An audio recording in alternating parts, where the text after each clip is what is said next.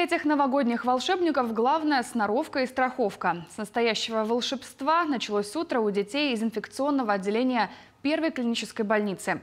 В их окна постучались Дед Мороз и Снегурочка. Таким необычным способом маленьких пациентов решили поздравить смоленские спасатели. Тщательная подготовка, нужно проверить снаряжение и убедиться, что костюмчик хорошо сидит. И вот с крыши спускаются новогодние волшебники. Поехали!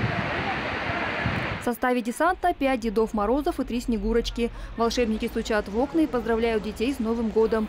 Режим в инфекционном отделении самый строгий. Кому-то придется провести в палате несколько недель и видеть родителей лишь через окно или экран телефона. А здесь праздник с доставкой в палату. Предложили, я просто, ну, я не могла отказаться. Я занимаюсь спортивным туризмом, но уже пятый год.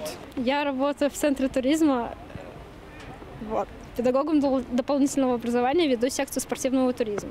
В составе группы только бывалые альпинисты и спортивные туристы. И самый опытный волшебник Александр Попов. Парень уже второй год помогает Деду Морозу поздравлять маленьких смолян.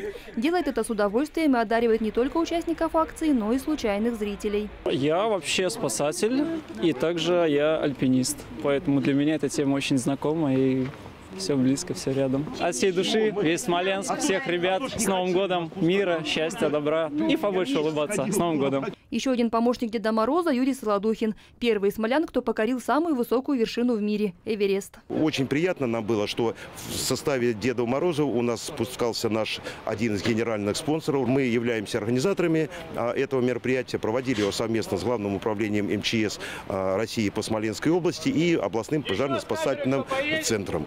Затем маленьким пациентам передали коробки с подарками. По мнению врачей, положительные эмоции атмосфера праздника способствуют более быстрому выздоровлению. Анастасия Рыжикова, Роман Зорин, Артем Медов, Вести Смоленск.